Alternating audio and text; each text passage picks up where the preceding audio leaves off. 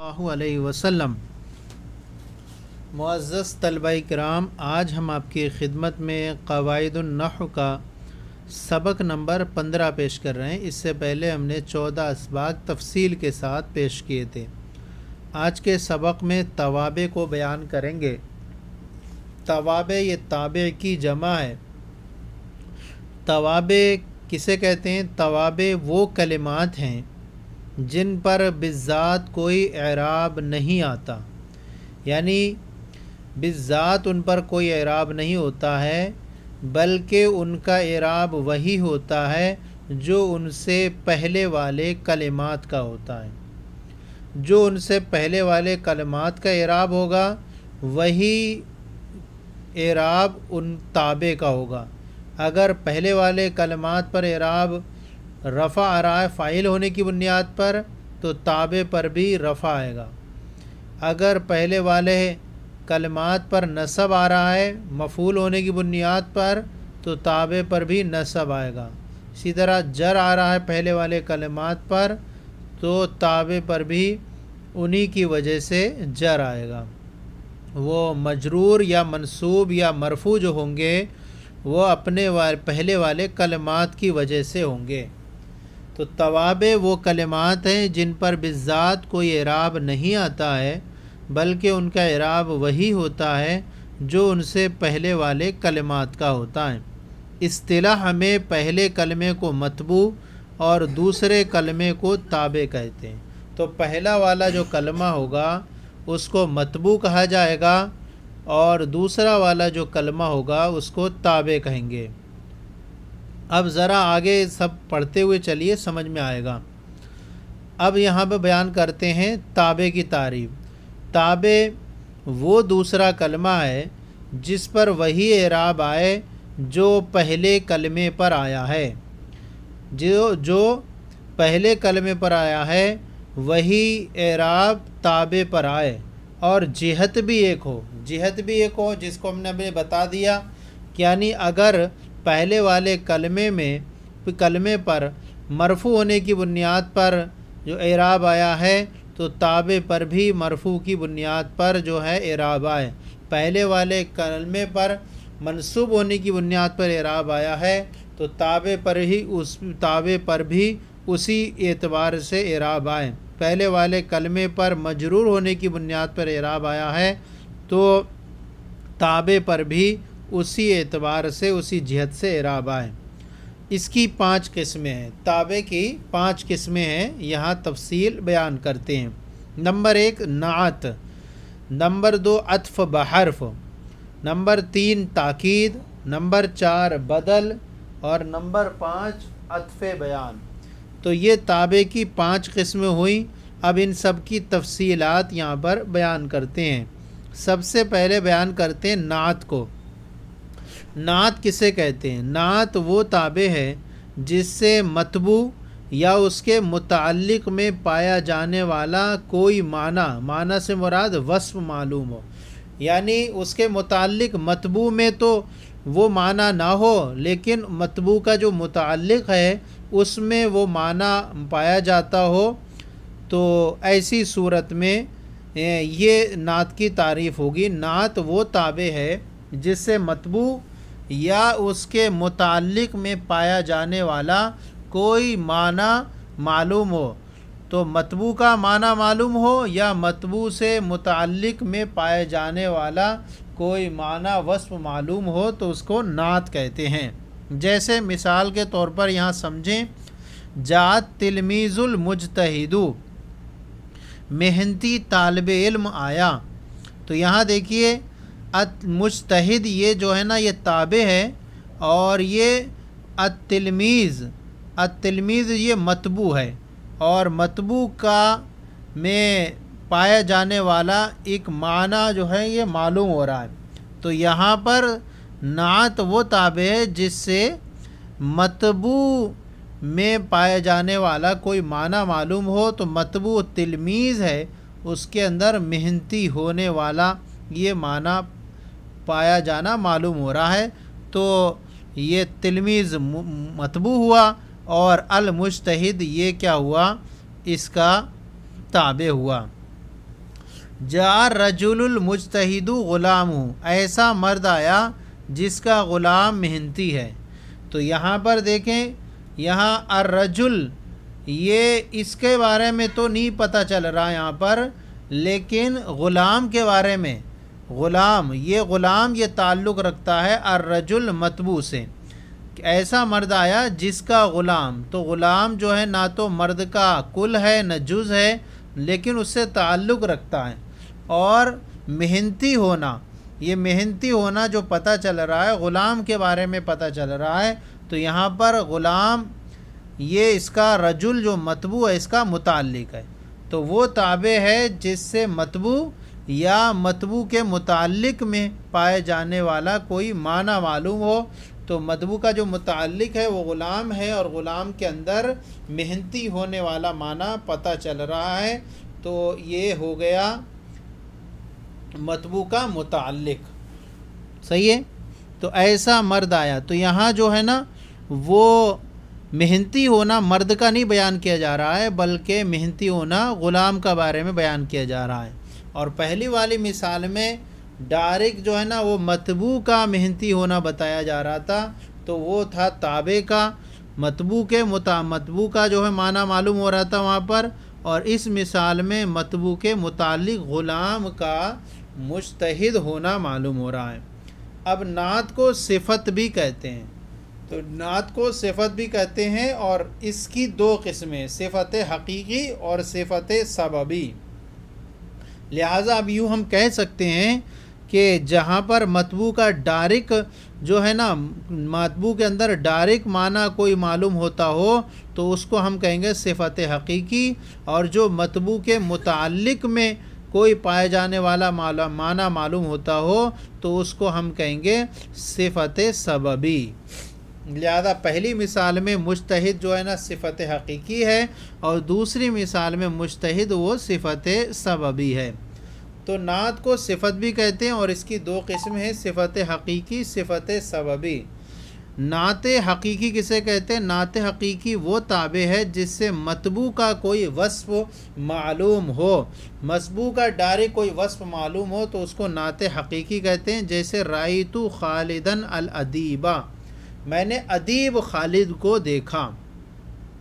اب یہ دیکھیے، ادیب یہ اس کا جو ہے نا، وہ نعت ہے اور صفت ہے خالد کی متبو کی۔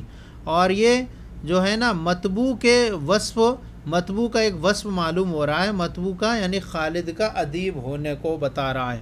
تو یہ صفت حقیقی ہوئی۔ اس کو صفت بحالی ہی بھی کہتے ہیں، صفت حقیقی کو۔ اب یہ چار چیزوں میں ہمیشہ اپنے متبو موصوف کے موافق ہوگی۔ ویسے تو دس چیزیں ہوتی ہیں، صفت اپنے موصوف کے دس چیزوں میں موافق ہوتی ہے، لیکن صفت حقیقی صفت حقیقی دس چیزوں اپنے موصوف کے مطابق ہوتی ہے، لیکن ایک وقت میں چار چیزیں پائی جائیں گی۔ تو یہ چار چیزوں ہمیشہ اپنے متبو موصوف کے موافق ہوگی۔ دیکھیے دس چیزیں کیسے ہیں۔ نمبر ایک میں تعریف و تنقیر دو ہو گئیں، نمبر دو میں تذکیر و تانیس دو ہیں، چار ہو گئیں، نمبر تین میں افراد و تسنیہ جمع تین ہو گئے تو سات ہو گئے، اور نمبر چار میں رفع نصب اور جر تین ہیں، یہ دس ہو گئے۔ لیکن دس میں سے بیک وقت چار ہی پائے جائیں گے۔ جہاں تعریف و تنقیر ہے تو وہاں اس میں سے بیک وقت ایک پایا جائے گا۔ ایسا نہیں کہ معرفہ بھی ہو اور نقرہ بھی ہو۔ اسی طرح تذکیر و تانیس میں سے بھی ایک وقت میں ایک ہی پایا جائے گا۔ ایسا نہیں ہو سکتا کہ مذکر بھی ہو اور مونس بھی ہو۔ اسی طرح افراد و تسنیہ جمع سے میں سے بھی بیک وقت میں ایک ہی پایا جائے گا۔ ایسا نہیں ہو سکتا کہ واحد بھی ہو تسنیہ بھی ہو یا جمع بھی ہو۔ اسی طرح رفع نصب اور جر میں سے بھی بیک وقت میں ایک ہی پایا جائے گا۔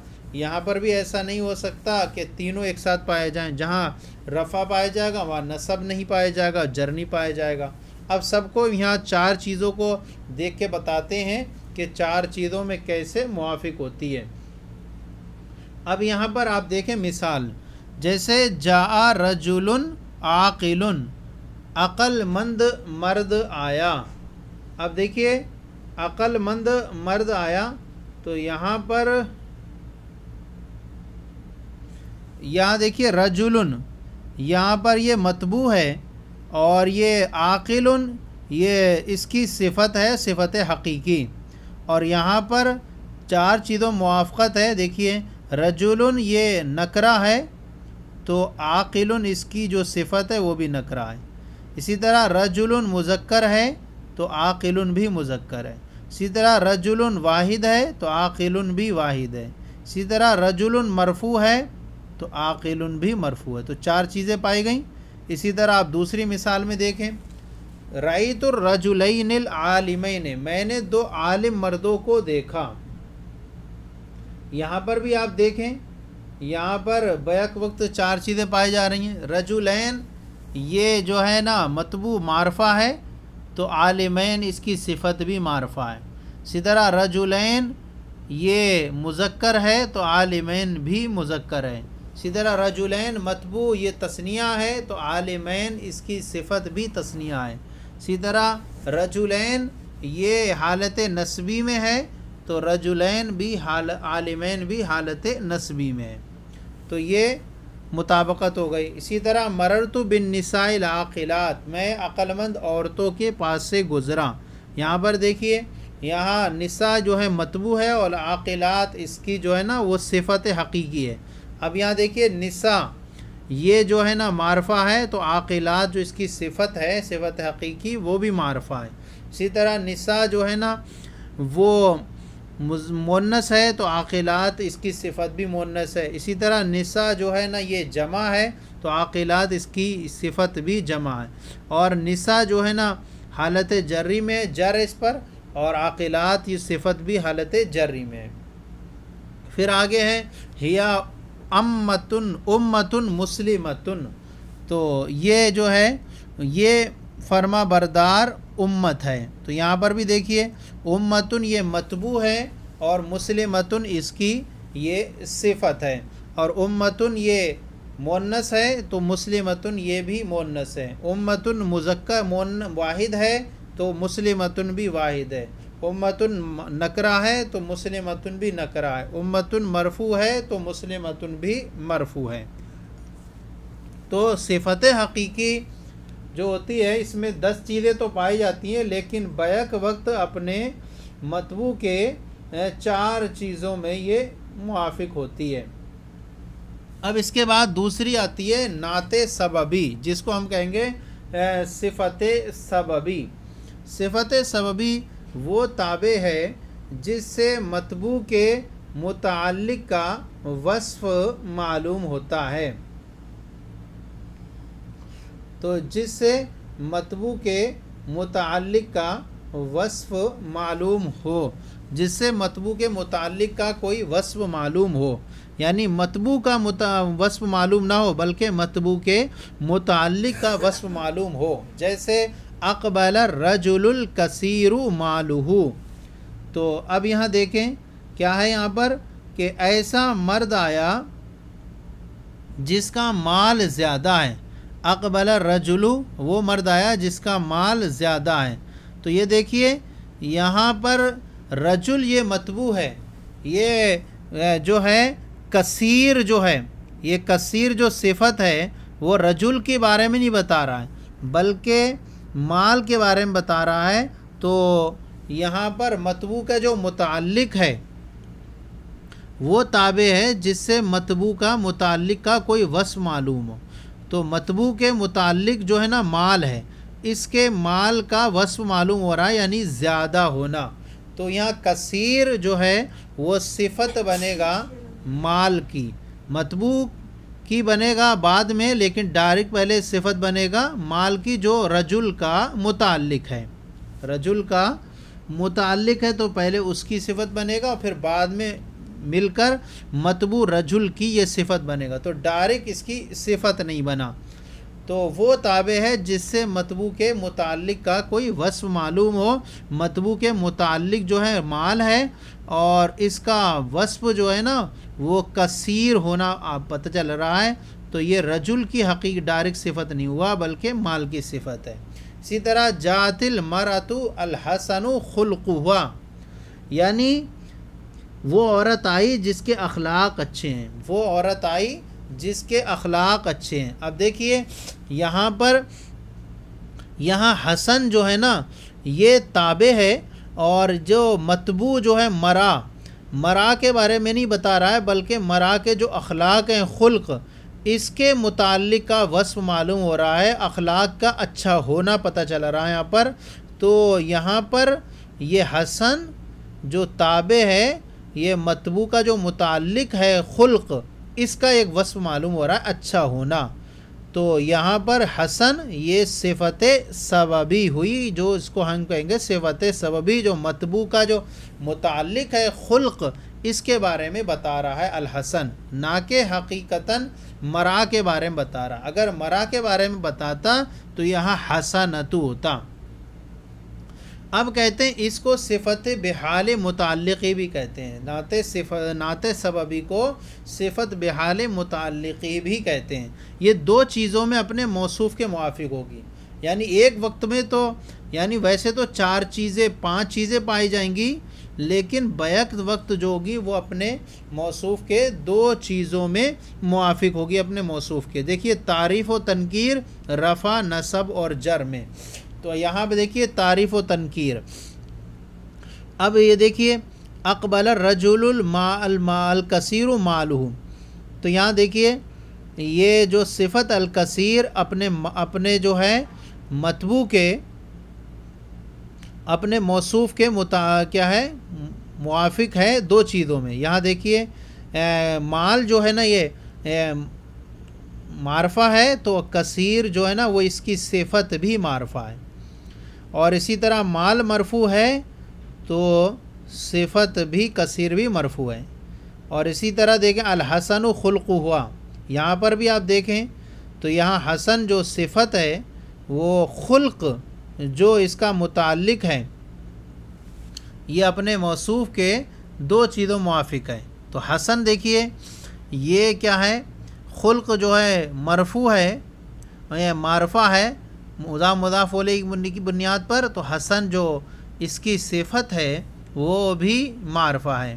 اور دوسرا، خلق جو ہے، وہ مرفوع ہے، تو اس کی جو صفت ہے حسن، وہ بھی مرفوع ہے۔ تو دو چیزوں میں اپنے موصوف کے موافق ہیں۔ جیسے، جا رجل عالم ابو ایسا مرد آیا جس کا باپ عالم ہے۔ اب یہاں پر دیکھیے رجل یہ ہے متبو اور عالم یہ صفت ہے۔ لیکن یہ عالم جو ہے، رجل کا جو متعلق ہے، جو متبو کا جو متعلق ہے ابو ہو اس کے بارے میں بتا رہا ہے یہ۔ یعنی ایسا مرد آیا، باپ کے عالم ہونے کے بارے میں بتا رہا ہے یہاں پر۔ تو عالم تو عالم یہ جو ہوئی، صفت ہوئی، صفت سببی۔ اب یہاں دو چیزوں میں اپنے جو ہے موصوف کے موافق ہے ابو جو ہے، ابو جو ہے یہاں پر، تو یہاں دیکھیے، ابو یہ جو ہے نا، اور رجل رجل جو ہے یہ متبو ہے اور یہ نکرا ہے، اور تو عالمن بھی یہ نکرا ہے۔ اور رفع نصب جر میں رفع نصب جر میں بھی دیکھ دیکھیے۔ یہاں پر جو ہے، یہ مرفوع ہے۔ ابو ابو اس کو کہہ دے سکتے ہیں؟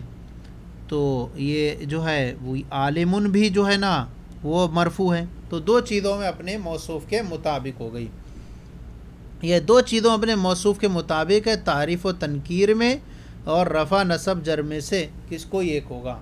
اسی طرح دیکھیں رائت المراتل کریمہ اخوہ میں نے ایسی عورت کو دیکھا جس کا بھائی شریف ہے۔ تو یہاں دیکھیے،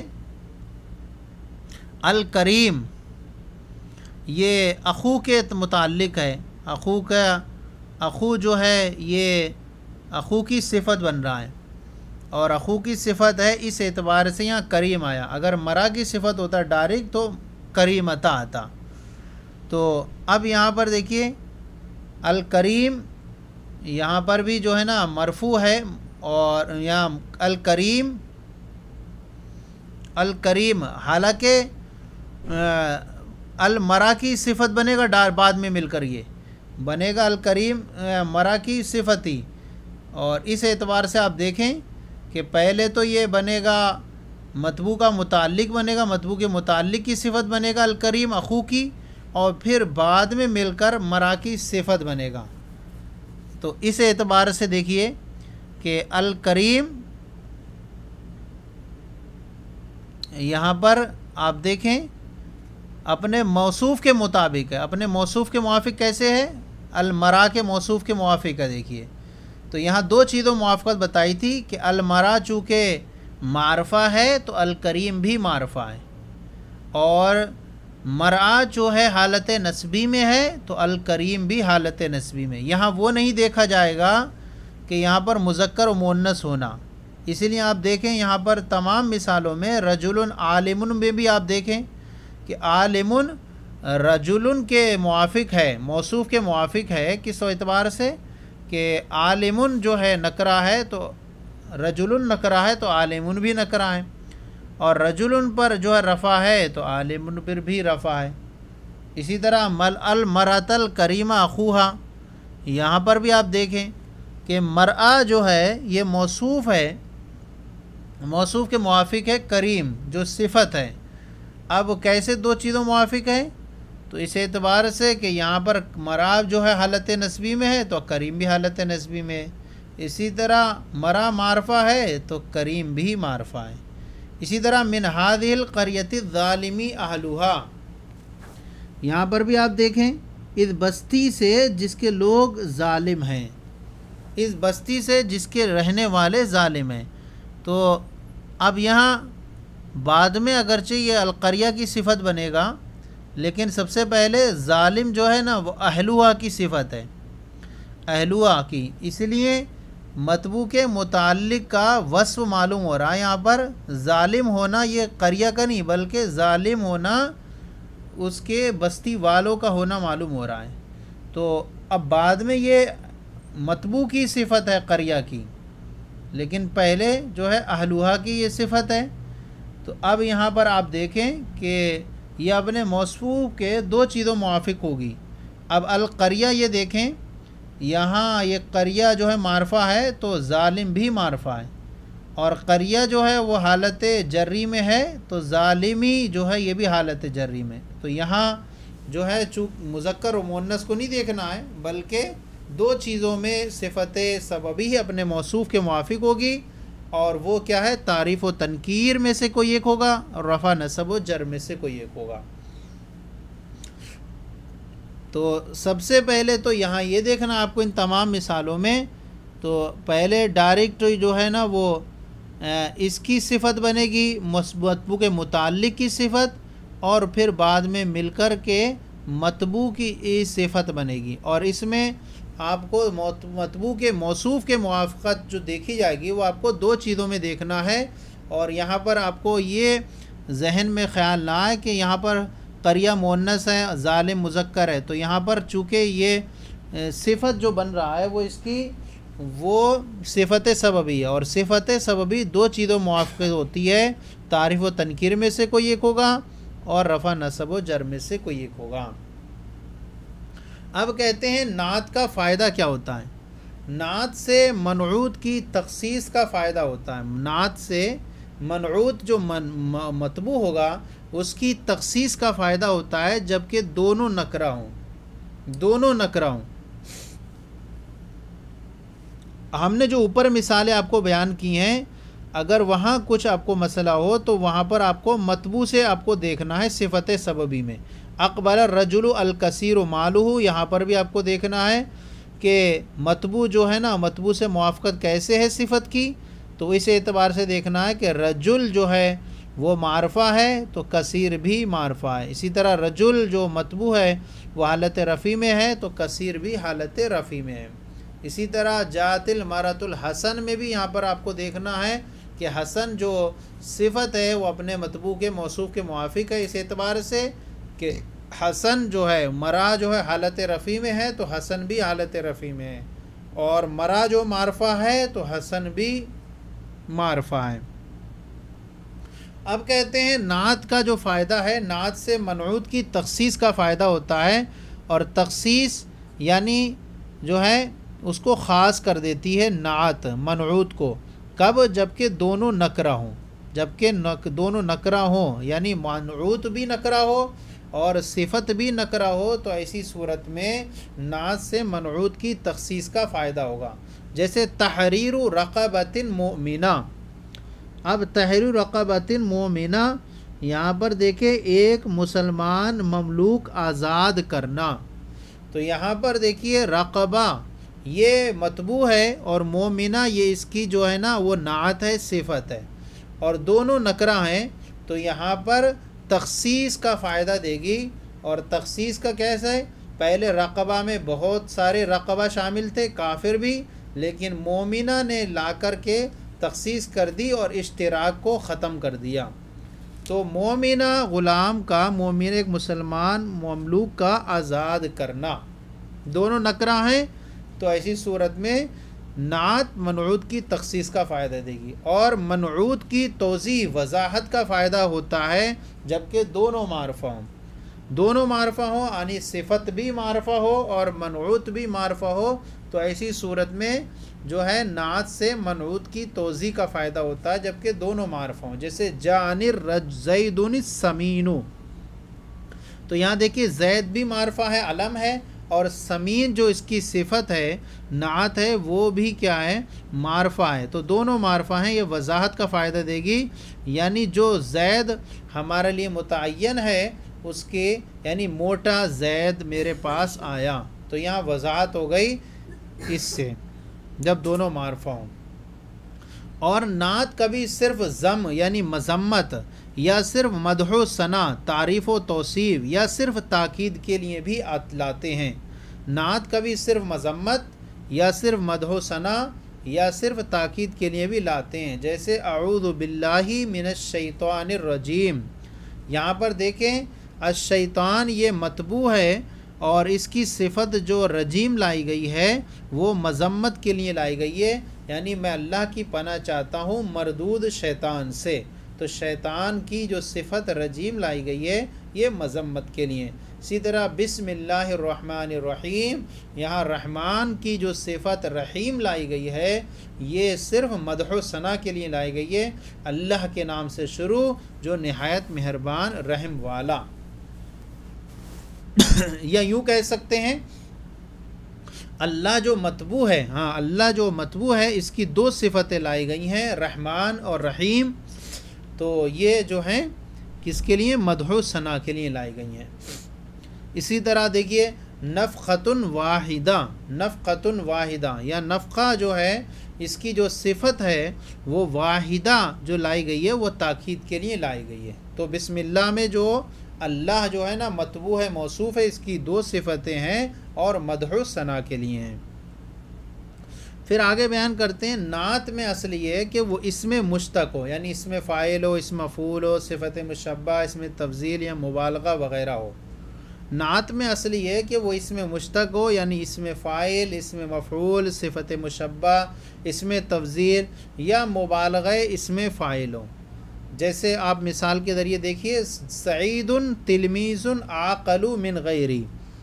سعید دوسرے سے، دوسروں سے زیادہ عقلمند طالب علم ہے۔ سعید دوسروں سے زیادہ عقلمند طالب علم ہے۔ تو یہاں دیکھیے، یہاں پر جو ہے وہ تلمیز یہ متبو ہے اور اس کی جو صفت لائی گئی ہے، وہ نعت جو لائی گئی ہے، وہ عقلو اس میں تفضیل لائی گئی ہے۔ اور عقلو من غیری۔ تو یہ عقلو یہ اس میں مشتق، اس میں تفضیل ہے، اس کی صفت لائی گئی ہے۔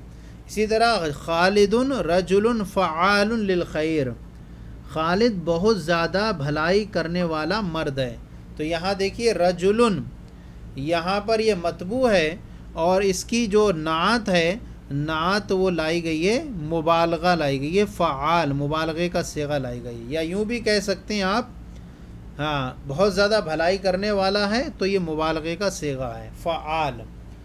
تو اس کی یہ صفت مبالغہ، اس میں مبالغہ لائے گیا نعت میں اصل یہ کہ وہ اس میں فائل ہو یا مبالغہ اس میں فائل ہو، وغیرہ۔ لیکن نعت، کبھی نعت اس میں جامد بھی ہوتی ہے۔ لیکن کبھی نعت اس میں جامد ہوتی ہے تو اس کو اس میں مشتق کی تعویل میں مان لیتے ہیں۔ اگر کبھی ایسا ہے کہ نعت جو ہے وہ اس میں جامد ہو، تو اس کو اس میں مشتق کی تعویل میں کر کے اور یہ تعویل کر لیں گے کہ اس میں مشتق کی تعویل میں ہے، کیونکہ اصل انہوں نے یہ بتایا کہ نعت میں اصل یہ ہے کہ وہ اس میں مشتق ہو۔ تو اگر کبھی جامد ہو، تو اس کو مشتق کی تعویل میں درجے میں اتار لیتے ہیں۔ جیسے یوں کہا جائے، ہوا رجل ثقتن، وہ بھروسے مند آدمی ہے۔ تو یہاں دیکھیے، رجل یہ متبو ہے اور اس کی جو نعت ثقتن لائی گئی ہے، یہ اس میں جامد ہے۔ تو اب اس کو جو ہے، اس میں مشتق یعنی اس میں مفعول کی تعویل میں لے لیا گیا۔ یعنی کہا جائے گا، رج ثقتن موسوقن بھی کی تعویل میں ہے۔ اس میں مفعول کی تعویل میں لے لیا گیا۔ تو اس اعتبار سے پھر یہ صحیح ہو جائے گا۔ اور کبھی نکرہ کی نعت جملہ خبریہ ہوتی ہے۔ کبھی نکرہ ایسا ہوگا کہ اس کی نعت جملہ خبریہ ہوگی، اس کی نعت یعنی صفت جملہ خبریہ ہوتی ہے، جیسے جا رجل ابوہ کریم ایسا مرد آیا جس کا باپ شریف ہے۔ تو دیکھیے رجل یہ نکرہ ہے متبو ہے، اور اس کی جو نعت لائی گئی ہے، وہ ابو کریم جملہ خبریہ یعنی جملہ اسمیہ لائی گئی ہے۔ تو ناکرہ کی نعت کبھی جملہ خبریہ آتی ہے۔ اور جملہ چونکہ نکرہ کے درجے میں ہوتا ہے، اس لیے پھر اس کی صفت بنانا صحیح ہوتا ہے۔ اسی طرح مررتو بے رجول قام خو پہلا جملہ اسمیہ بنا جملہ خبریہ میں دونوں آ جاتے ہیں، جملہ اسمیہ، جملہ فعلیہ۔ تو پہلی والی مثال ابو کریم یہ جملہ اسمیہ کی ہو گئی، جو رجل متبو کی صفت بن رہا ہے۔ اور دوسری مثال میں ایسے مرد کے پاس سے گزرا جس کا بھائی کھڑا ہے۔ تو یہاں دیکھیے رجل یہ بھی نکرہ ہے اور جس کی صفت جملہ خبریہ یعنی جملہ فعلیہ لائی گئی، قامہ خوہ یہ جملہ اس کی صفت بنے گا رجل نکرہ کی۔ اور ضمیر نہ موصوف ہوتی ہے، نہ صفت ہی بنتی ہے۔ ضمیر کو آپ نہ تو آپ موصوف بنا سکتے ہیں اور نہ صفت بنتی ہے۔ تو جملہ ہونا چاہیے صفت بننے کے لیے۔ اب کہتے ہیں یہ تو ایک نعت کا بیان ہو گیا یہاں اس پر، صفت کا بیان۔ دوسرے نمبر پر تابع میں سے اطف بحرف بیان کرتے ہیں۔ اطف بحرف وہ تابع ہے جو کسی حرف اطف کے بعد آئے۔ اطف بحرف وہ تابع ہے جو کسی حرف اطف کے بعد آئے اور جس چیز کی نسبت اس کے متبو کی طرف ہو، اس سے یہ بھی مقصود ہو۔ یعنی جو نسبت اس کے متبو کی طرف کی گئی ہے، وہ حرف اطف کے بعد آنے والے کی طرف بھی مقصود ہو۔ وہ تابع جو کسی حرف اطف کے بعد آئے اور جس چیز کی نسبت اس کے متبو کی طرف کی گئی ہو، اس سے یہ بھی مقصود ہو، اس کا دوسرا نام اطف نسق بھی ہے، جسے قال اللہ و رسول اللہ اور اس کے رسول نے کہا۔ تو یہاں دیکھیے، قال اللہ میں اللہ یہ متبو ہے اور رسول جو اس کا جو ہے اطف بحرف اطف بحرف یوں اس کو کہہ سکتے ہیں اور یا اس کو یوں ہم تابع کو معطوف بھی کہہ سکتے ہیں۔ رسول یہ معطوف ہے اور اللہ جو ہے، یہ متبو کو ہم معطوف علیہ کہیں گے اور رسو جو واو حرف عطف کے بعد آئے گا اس کو ہم کہیں گے معطوف۔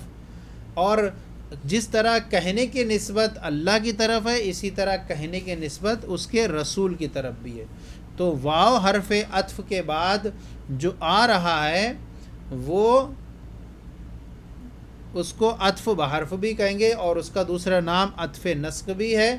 اور اس میں جو متبو ہے، اللہ اس کو معطوف علیہ کہیں گے اور تابع جو رسول ہے، اس کو معطوف کہتے ہیں۔ اس میں متبو کو معطوف علیہ اور تابع کو معطوف کہا جاتا ہے۔ اب جوڑنے کے لیے جو حروف عطف ہیں وہ دس ہیں۔ حروف عطفہ دس ہیں۔ واؤ فا، سما حتیٰ او، اما، ام، لا، بل، لاکن۔ ان سب حروف عطف کی تفصیل، مزید تفصیل حروف کی بحث میں آئے گی۔ اب عطف کریں۔ اگر معطوف علیہ پر معطوف کا عطف کریں تو اس کے لیے ایک ضابطہ ہے۔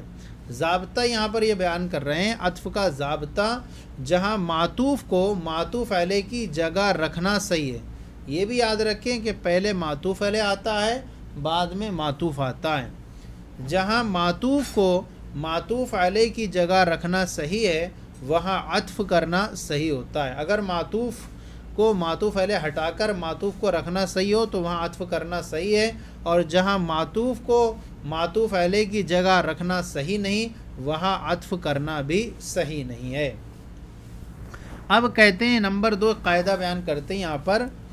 جب ضمیر مرفو متصل پر، جب ضمیر مرفو متصل پر عطف ہو تو ضمیر منفصل سے اس کی تاکید لانا واجب ہے، ضروری ہے۔ خواہ معطوف علیہ ضمیر بارز ہو یعنی ظاہر ہو، یا ضمیر مستطر ہو۔ یاد رکھیے اس کو۔ پہلے سمجھ لیں، جب ضمیر مرفو متصل ہو یعنی ضمیر ایسی ہو جو مرفو ہو اور متصل ہو، اس پر عطف کرنا ہو، تو ضمیر منفصل کے ذریعے پہلے اس ضمیر متصل کی تاکید لانا ضروری ہوگا اور پھر اس کے بعد عطف کر سکتے ہیں۔ خواہ معطوف علیہ جو ہے ضمیر بارز ہو یا ضمیر مستطر ہو۔ جیسے دیکھیے مثال کے طور پر جیتو انا و علی میں اور علی آئے۔ تو یہاں دیکھیے یا علی کا جو ہے عطف کیا جا رہا ہے۔ ضمیر مرفو متصل جیتو کی تو ضمیر پر۔ اور یہ ضمیر، یہ ماتو پھیلے جو ہے ضمیر بارز ہے۔ دکھ رہی ہے۔ اس پر عطف کیا جا رہا علی کا۔ تو ڈائریکٹ اس پر جیتو کی تو ضمیر پر ضمیر مرفو متصل پر عطف علی کا نہیں کر سکتے، بلکہ اس ضمیر مرفو متصل کی ایک تاکید ضمیر منفصل سے لانا ہوگی، جو لائی گئی ہے انا کے ذریعے۔ تو تو کی جو تاکید ہے، وہ لائی گئی ہے انا کے ذریعے، اور پھر اس کے بعد علی کا اس پر عطف کیا گیا ہے۔ تو جی ایسے نہیں کہہ سکتے آپ، جیتو و علی جن اس لیے نہیں کہہ سکتے، اس کا ایک وعدہ یہ ہے کہ چونکہ اس میں ظاہر جو ہوتا ہے وہ قوت کے درجے میں ہوتا ہے اور ضمیر تھوڑا سا اس سے کمزور ہوتی ہے۔ تو اب ایسی صورت میں اگر ایک ضمیر پر علی کا عطف کر دیں گے تو جو ہے نا معطوف جو ہوگا وہ قوی ہو جائے گا اور معطوف علیہ کمزور۔ لیکن جب دو ضمیریں ہو گئیں، ایک ضمیر مرفو متصل اور دوسری منفصل، تو دونوں مل کر ایک قوی اسم ظاہر کے درجے میں آ گئیں۔ اب اس پر معطوف کا، معطوف علیہ پر عطف کر سکتے ہیں۔ تو یہ ضمیر بارز خواہ معطوف علیہ ضمیر بارز ہو جیسے جیتو میں تو ضمیر معطوف علیہ ضمیر بارز ہے اور اس کی تاکید انا ضمیر منفصل سے لانا واجب ہوئی۔ یا ضمیر مستطر ہو یعنی معطوف علیہ ضمیر مستطر ہو جیسے یا آدم اسکن انتا وضو جکل جنا اے آدم، تم اور تمہاری بیوی اس جنت میں رہو۔ تو یہ دیکھیے، اسکن یہ وضو جکا وضو جکا یہ معطوف ہے، اس کا عطف کیا گیا ہے، اسکن، یہ ضمیر مرفو متصل پر، اس پر عطف کیا گیا ہے، تو اس کی تاکید جو ہے نا، وہ لائی گئی ہے انتا ضمیر منفصل کے ذریعے لائی گئی ہے، پھر اس کا زو جوکا کا عطف کیا جا سکے گا۔ اور اسکن کے اندر معطوف علیہ جو ہے، وہ ضمیر مستطر ہے جو انتا ہے۔ تو اسکن کے اندر ایک ضمیر مستطر معطوف علیہ ضمیر مستطر ہے اور متصل ہے اور انتا ضمیر منفصل کے ذریعے اس کی تاکید لائی گئی اور پھر اس کے بعد زوجوکا کا، معطوف کا اس پر عطف کیا گیا ہے۔ تو یہ سمجھ میں آ گیا ہوگا آپ کو کہ ضمیر مرفو متصل پر جب عطف کرنا ہو تو ضمیر منفصل سے اس کی تاکید لانا واجب ہے، چاہے معطوف اہل ضمیر بارز ہو یا معطوف اہل ضمیر مستطر ہو۔ قاعدہ نمبر تین بیان کر رہے جب معطوف علیہ اور معطوف کے درمیان فصل ہو۔ اگر ایسا ہو کہ معطوف علیہ اور معطوف کے درمیان فصل ہو جاؤ، ہو جائے کس کی ظرف کے ذریعے، وغیرہ کے ذریعے، تو ضمیر مرفو متصل پر عطف کرنا بغیر تاکید کے بھی جائز ہے۔ یہ اس صورت میں تھا جو قاعدہ نمبر دو، جب معطوف علیہ اور معطوف کے درمیان کسی کے ذریعے فصل نہ اور اگر فصل ہو جائیں تو پھر ایسی صورت میں ضمیر مرفو متصل پر جو ہیں، بغیر تاکید کے بھی عطف کرنا جائز ہے۔ جب معطوف علیہ اور معطوف کے درمیان فصل ہو، تو ضمیر مرفو متصل پر عطف کرنا بغیر تاکید کے بھی جائز ہے۔ جیسے خطبۃ الیوم و سلیم۔ میں نے اور سلیم نے آج بیان کیا۔ یہاں پر اب دیکھیے، یہاں پر سلیم جو معطوف علیہ ہے، سلیم جو معطوف ہے اور خطبتو میں تو ضمیر جو مرفو متصل ہے، اس کے درمیان معطوف علیہ اور معطوف، خطبتو میں تو ضمیر جو معطوف علیہ ہے اور سلیم یہ معطوف ہے۔ ان دونوں کے درمیان جو ہے نا الیوما کے ذریعے یہاں پر فصل ہو گیا۔ تو اب یہاں خطبتو کی جو تو ضمیر مرفو متصل ہے اس کی تاکید لانے کی کوئی ضرورت نہیں، بغیر تاکید کے بھی ضمیر متصل پر عطف کرنا بغیر تاکید کے بھی جائز ہے۔ یہاں آپ کو یہ کوئی ضرورت نہیں کہ آپ یوں کہیں خطبتو انا الیوم و سلیم کیوں؟ کیونکہ یہاں پر معطوف علیہ اور معطوف کے درمیان الیوما کے ذریعے فصل ہو گیا۔ قاعدہ نمبر چار۔ جب ضمیر مجرور پر عطف ہو تو حرف جر کا دوبارہ لانا واجب اور ضروری ہے۔ ضمیر مجرور پر اگر عطف کرنا ہو معطوف کا تو حرف جر کا دوبارہ۔ جب ضمیر مجرور پر عطف ہو تو حرف جر کا دوبارہ لانا واجب ہے۔ جیسے مررتو بھی کا و بے ظہیرن تو دیکھیے یہاں پر ضمیر جو مجرور ہے کاف اس معطوف علیہ ہے اور اس پر عطف کیا گیا ہے زہیر یہ معطوف کا۔ تو اب یہاں پر زہیر کا عطف کرنے کے لیے دوبارہ سے حرف جر کا اعادہ کرنا ضروری ہے۔ اس لیے یہاں پر بکا کے بعد وہ بے بے جو ہے با، یہ جو ہے حرف جر دوبارہ لایا گیا۔ ڈائریکٹ آپ یوں نہیں کر سکتے، مررتو بکا و زہیر۔ تو یہاں پر جب ضمیر مجرور پر عطف کرنا ہو تو حرف جر کا دوبارہ لانا واجب ہے۔ یہ تابع کی دو قسمیں ہو گئیں، عطف، تاکید عطف، پہلا ہو گیا نعت اور دوسرا ہو گیا عطف بحرف۔ تیسرا بیان کر رہے ہیں تابع کی تیسری قسم تاکید۔ تاکید وہ تابع ہے جس سے متبو کی طرف کی گئی نسبت پختہ ہوتی ہے یعنی ویسے تو متبو کی طرف نسبت کوئی چیز کی کی گئی ہے، لیکن تاکید لا کر مزید اس میں پختگی اور یقین ہو جاتا ہے کہ متبو کی طرف جس چیز کی نسبت کی گئی ہے، وہ یقینی ہے اور اس میں کوئی شک و شبہ نہیں ہے۔ تو تاکید وہ تابع ہے جس سے متبو کی طرف کی گئی نسبت پختہ ہوتی ہے، یا یہ معلوم ہوتا ہے کہ حکم متبو کے تمام افراد یا تمام اجزاء کے لیے ہے، ایسا نہیں ہے کہ بعض کے لیے۔ اب تاکید کی دو قسمیں ہیں، لفظی اور معنوی۔ تاکید لفظی اور تاکید معنوی۔ اب تاکید لفظی کسے کہتے ہیں؟ تاکید لفظی وہ تاکید ہے جس میں ایک لفظ کو دو بار ذکر کیا جائے۔ اب تاکید لفظی جو ہوتی ہے، اسم اسم کس کے ذریعے بھی ہوتی ہے؟ فعل فعل کو دوبارہ مقرر کر دینے سے بھی ہوتی ہے اور حرف حرف کو بھی دوبارہ مقرر کر دینے سے بھی ہوتی ہے۔ تاکید لفظی وہ تاکید ہے جس میں ایک لفظ کو دو بار ذکر کیا جائے، جیسے حاضل ہلال الہلال۔ تو یہاں الہلال دیکھیے، ایک بار آیا پھر دوسری بار الہلال آیا۔ تو یہاں اسم پہلے والا موقع بنے گا اور دوسرا والا الہلال تاکید بنے گا اور اس کی یہ تاکید لفظی کہلائے گی۔ اسی طرح ذرابہ ذرابہ زہیر۔ تو یہاں ذرابہ کو دو بار لایا گیا۔ تو پہلا والا ذرا موقع بنے گا، دوسرا والا ذرابہ تاکید بنے گا اور یہ تاکید لفظی ہوگا۔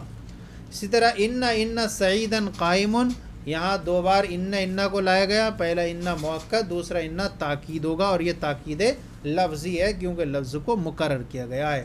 تو تاکید لفظی وہ ہوتی ہے جس میں ایک لفظ کو دو بار ذکر کیا جائے۔ پھر آیا گیا ہے تاکید مانوی تاکید مانوی وہ تاکید ہے جس میں لفظ کی تکرار نہ ہو بلکہ معنی کی تکرار ہو۔ لفظ تو ایک ہی ہو، لیکن معنی کی تکرار ہوتی ہو اور یہ مخصوص الفاظ کے ذریعے ہوتی ہے۔ تو وہ تاکید ہے جس میں لفظ کی تکرار نہ ہو بلکہ معنی کی تکرار ہو۔ اس کے لیے خاص طور پر آٹھ الفاظ استعمال کیے جاتے ہیں تاکید معنوی کے لیے۔ اور وہ کون ہے نفس ہے عین ہے، قلعہ ہے قلتا ہے، چار کلن، پانچ اجماؤ چھ اور قلعہ قلتا کو دونوں کو ایک ہی میں شامل کر لیتے ہیں۔ نفس و عین دو، قلعہ قلتا تین، کلن چار اجماؤ پانچ اقتعو چھ اب تو سات اور اب سعو آٹھ۔ اب یہاں سب کے بارے میں الگ الگ قاعدہ ہے کہ کیسے کیسے ان کو استعمال کریں گے۔ نفس اور عین سیغا اور ضمیر کے اختلاف کے ساتھ واحد تسنیہ اور جمع کی تاکید کے لیے آتے ہیں۔ نفس اور عین سیغا اور ضمیر کے اختلاف کے ساتھ سیغا بدل جائے گا۔ ضمیر کے تبدیلی کے ساتھ واحد تسنیہ اور جمع تینوں کی تاکید کے لیے آتے ہیں۔ خواہ جو ہے وہ مذکر ہوں یا مونس ہوں۔ چاہے وہ واحد یعنی جو ہے وہ واحد کیا ہو، مذکر ہو یا تسنیہ مذکر ہو یا جمع مذکر ہو یا مونس ہو۔ اب آپ دیکھیے جیسے جانی زید النفس زید میرے پاس بذات خود آیا۔ تو یہاں دیکھیے زید یہ واحد ہے اور اس کی تاکید لائی گئی نفس کے ذریعے۔ اب یہاں اس میں جو ہے نا ضمیر مذکر کی لائی گئی، ہو ضمیر۔ تو واحد کی تاکید کے لیے بھی آتے ہیں۔ اب خواہ مذکر ہو تو زید مذکر ہے، اس کی تاکید آئی ہے اور ہو ضمیر یہاں لائی گئی ہے۔ اب تسنیہ میں یہ تبدیل ہو جائے گا سیغا بھی تب سیغا میں اسی طرح مونس میں دیکھیے جاتنی ہندن نفسوہا۔ یہاں ہندن جو ہے، اس کی تاکید لائی گئی ہے، نفسن، تاکید مانوی اور یہاں سیغے میں تو سیغا تو وہی ہے، لیکن یہاں ضمیر میں تبدیلی کر دی گئی ہے۔ وہاں نفس ہو مذکر کے لیے تھی، ضمیر ہو، اور ہاں یہاں مونس کے لیے کی گئی ہے۔ مذکر ہو یا مونس۔ اسی طرح تسنیہ میں آپ دیکھیں، یہاں سیغا تبدیل ہو گیا ہے، ضمیر بھی تبدیل ہو گئی ہے۔ جانس زیدان انفس ہما یا نفسا ہما کر سکتے ہیں، دونوں لا سکتے ہیں انفس ہما یا نفسا ہما تو یہاں تسنیہ ہے، تو اس کے لیے ضمیر بھی تبدیل ہو گئی ہے، ہما اور سیغا بھی تبدیل ہو گیا ہے انفس ہما یا نفسا ہما اسی طرح مونس کے لیے آپ کر دیں جاتن الہندان انفس ہما یا نفسا ہما یہاں پر تسنیہ میں دونوں کے لیے ضمیر اور سیغا ایک صحیح رہے گا۔ اسی طرح جمع میں آپ دیکھیں، زیدون انفسہم، یہاں سیغا بھی تبدیل ہے واحد تا نفسو میں، اور اور جمع میں انفس ہوا اور ضمیر بھی تبدیل ہے انفس ہم آ گئی۔ مونس کے لیے آپ دیکھیں، جمع میں جاتن الہنداتو انفس ہندات مونس ہیں جمع ہے، تو اس کے لیے جو ہے تاکید مانوی میں سیغا بھی تبدیل ہے انفس اور ضمیر بھی تبدیل ہے ہننا اسی طرح لفظ عین کو بھی استعمال کر سکتے ہیں۔ لفظ عین کو استعمال کرنے کے لیے آپ یوں کہہ سکتے ہیں، جانی زید عینہ جاتنی ہندن عینہا جان زیدان آئینہما اسی طرح جاتن الہندان آئینہما اسی طرح جان الزیدون آئینہم اور جاتن الہندات آئینہن اب اس کے بعد آگے بیان کرتے ہیں قلعہ اور کلتا۔ یہ دونوں ایک ہی میں شمار ہیں، اس لیے تین ہوتے ہیں۔ قلعہ اور قلتا صرف تسنیہ کی تاکید کے لیے خاص ہیں، نہ تو واحد کے لیے آتے ہیں، نہ یہ جمع کے لیے، صرف تسنیہ کی تاکید کے لیے خاص ہیں۔ ہاں قلعہ مذکر کے لیے آتا ہے قلعہ مذکر کے لیے، جیسے قامر رجولان قلعہ ہما اور یہ ضمیر کی طرف استعمال ہوتے ہیں عام طور پر، جیسے جان رجولان قلعہ ہما تو رجولان تسنیہ ہے اور اس کی تاکید کے لیے قلعہ کو استعمال کیا گیا۔ اور کلتا مونس کے لیے، جیسے قامت المرتان کلتا ہما تو مرتان یہ مونس ہے، تسنیہ ہے اور اس کی تاکید کلتا کے ذریعے سے لائی گئی اور یہ تاکید مانوی ہے۔ اس کے بعد ہے کل واحد اور جمع کی تاکید کے لیے آتا ہے۔ کل اچھا کل جو ہے نا، واحد اور جمع کی تاکید کے لیے آتا ہے۔ تسنیہ کے لیے نہیں آتا یہ۔ کل واحد اور جمع کی تاکید کے لیے آتا ہے۔ یہ متبو کے مطابق ضمیر کی طرح مضاف ہوتا ہے۔ جیسا متبو رہے گا، ویسے ہی یہ ضمیر کی طرح مضاف ہو جائے گا۔ اگر متبو واحد ہے، تو جو ہے، یہ ضمیر واحد کی طرح مضاف ہو جائے گا۔ متبو جمع ہے۔ متبو اگر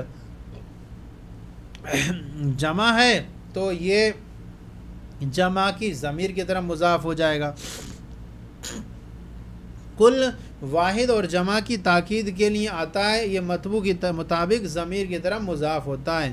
جیسے قرأت الکتابہ کل لہو یہاں دیکھیے، کتاب یہ موقع ہے اور کل لہو اس کی تاکید ہے اور یہ واحد کی تاکید کے لیے آیا ہے۔ اور کتاب چونکہ مذکر ہے تو یہ متبو کے مطابق ضمیر ہو ضمیر مذکر کی طرف مضاف ہو گیا۔ تو جیسے حالت میں وہ رہے گا اور ایسے ہی کل لہو بھی رہے گا۔ اسی طرح اشترئی تو دارا کل لہا۔ یہاں دیکھیے، دارا یہ واحد ہے تو کل کل جو ہے یہ متبو کے مطابق ضمیر کی طرح مضاف ہو گیا۔ اب آپ کہیں گے کہ یہاں ہا ضمیر مونس کیسے آ گئی؟ تو اس لیے آ گئی چونکہ دار بھی مونس سے سمائی ہے۔ اس اعتبار سے ہا ضمیر مونس کی طرف یہ مضاف ہوا۔ اب اس کے بعد جا القوم کلہم، یہاں دیکھیے، یہ واحد کی تاکید کی دو مثالیں تھیں۔ یہ جمع کی تاکید کے لیے آتا ہے تو یہ جمع کی تاکید کی مثال ہے۔ کلہم اجم کلہم، تو القوم یہ جمع ہے۔ اس میں جمع کے طور پہ استعمال ہوتا ہے۔ تو یہاں دیکھیے، کلہم، کل یہ مضاف ہو گیا۔ متبو کے مطابق ضمیر جمع کی طرح مضاف ہو گیا، ہم ضمیر کی طرف۔ اب یہاں آگے بیان کرتے ہیں، اجمعو بھی واحد اور جمع کی تاکید کے لیے آتا ہے۔ اجمعو بھی واحد جیسے کل واحد اور جمع کی تاکید کے لیے آتا ہے، ایسی اجمعو بھی واحد اور جمع کی تاکید کے لیے آتا ہے اور اکثر لفظ کل کے بعد ہوتا ہے۔ ایسا لفظ اجمعو اکثر لفظ کلن کے بعد ہوتا ہے، لیکن اس کا سیگا واحد، جمع اور مذکر، مونس کے لیے الگ الگ ہوتا ہے۔ ایسا ہوگا کہ اس کا سیگا جو ہے، وہ واحد، جمع اور مذکر، مونس کے لیے الگ الگ ہو جاتا ہے۔ کلن کی طرح نہیں ہے کہ سب کے لیے وہ کل جو ہے، وہ ایک صحیح رہتا تھا۔ جیسے آپ دیکھیں جار رقب کلو اجمعو۔ تو یہ دیکھیے کلو کے بعد آیا یہ۔ لفظ اجماؤ اکثر کل کے بعد آتا ہے اور اس کا سیگا واحد، جمع، مذکر، مونس کے الگ الگ ہوتا ہے۔ تو یہ واحد کے لیے استعمال ہوا ہے تو اجماؤ آیا۔ اور مذکر کے لیے ہیں تو اجماؤ آیا۔ اسی طرح مونس کے لیے اگر استعمال کرنا ہو تو جات القبیلت کلوہا جمعاؤ یہاں پر بھی کل کے بعد آیا اور چونکہ مونس کے لیے استعمال ہوا ہے تو مونس کے لیے سیگا اب الگ استعمال ہو رہا ہے۔ وہاں مذکر کی اجماؤ تھا یا مونس کے لیے جمعاؤ ہو رہا ہے۔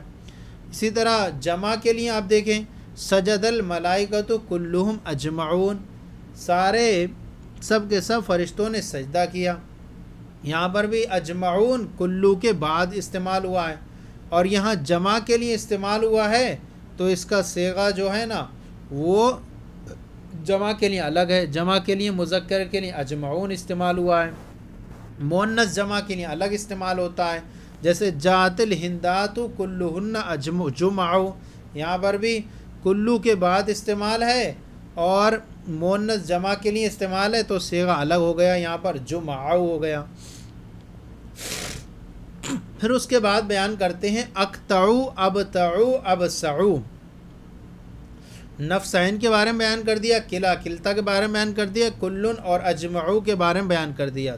پانچ ہو گئے، اب تین بچے اختاؤ اب تاؤ اب یہ بھی واحد اور جمع کی تاکید کے لیے آتے ہیں۔ واحد کی تاکید کے لیے آئیں گے اور جمع کی تاکید کے لیے آتے ہیں۔ اور اجمعو کی طرح ان کے سیغے بھی بدلتے رہتے ہیں۔ جیسے اجمعو کا سیگا بدلا، ایسے ہی ان کے سیغے بھی بدلتے رہتے ہیں۔ لیکن یہ تینوں اجمعو کے تابع ہیں۔ یعنی اس لیے نہ تو اس کے بغیر استعمال ہوتے ہیں اور نہ ہی اس سے پہلے آتے ہیں۔ تو یہ ہیں تو بدلتے رہتے ہیں سیغے، لیکن اجماؤ کے تابع نہ تو اس کے بغیر استعمال ہوں گے یعنی جب اجماؤ استعمال ہوگا تو اس کے بعد ہی یہ استعمال ہوں گے، اور اس سے پہلے بھی نہیں آ سکتے۔ تو یہ تینوں سیغے اجماؤ کے تابع ہیں۔ اس سے کے بغیر بھی استعمال نہیں کر سکتے ان کو اور نہ اس سے پہلے آتے ہیں۔ فائدہ، یہاں بیان کرتے ہیں یہ تاکید مانوی کے جو آٹھ الفاظ تھے یہاں بیان کر دیے۔ اس کے بعد بیان کرتے ہیں فائدہ، لفظ کلن اور اجمعو سے اسی چیز کی تاکید لانا صحیح ہے جس کے اجزاء الگ الگ ہو سکیں۔ ایسی چیز کی تاکید نہیں لا سکتے جس کے اجزاء الگ الگ نہیں ہو سکتے۔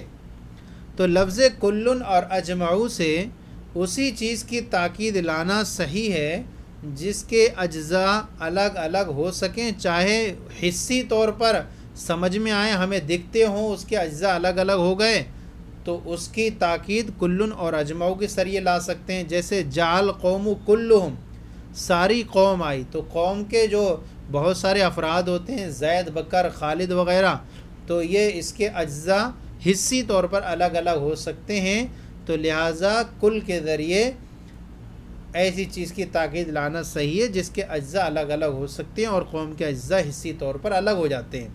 یا حکومی طور پر اجزاء الگ الگ ہو سکتے ہوں، حقیقتاً تو نہ ہو سکتے ہوں الگ الگ، لیکن حکمی طور پر ہو سکتے ہوں۔ جیسے اشتریت العبدہ کل لہو میں نے پورا غلام خریدا، تو غلام کے جو اجزاء ہیں وہ حقیقتاً تو نہیں ہو سکتے الگ الگ، لیکن حکمی طور پر الگ الگ ہو سکتے ہیں کہ یہ غلام دو لوگوں میں مشترک ہو سکتا ہے۔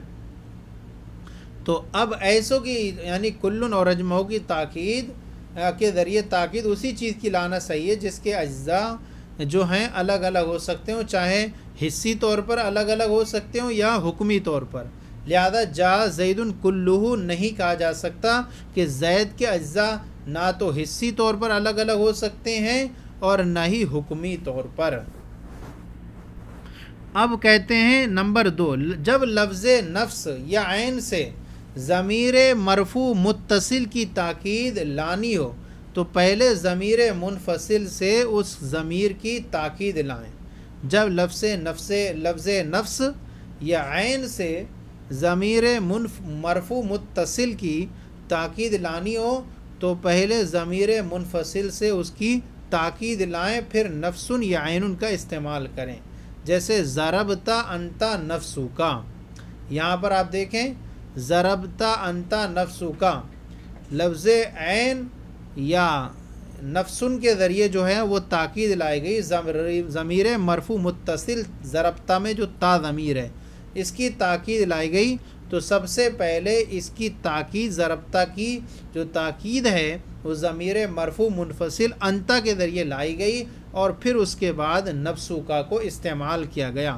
ڈائریکٹ یوں نہیں کر سکتے ضربتا نفسو کا تو جب ضمیر نفسن یا عین ان کے سے ضمیر مرفو متصر کی تاکید لانی ہو، تو پہلے ضمیر منفصل سے اس ضمیر کی تاکید لائیں گے اور پھر نفسن یا عین ان کا استعمال کریں گے۔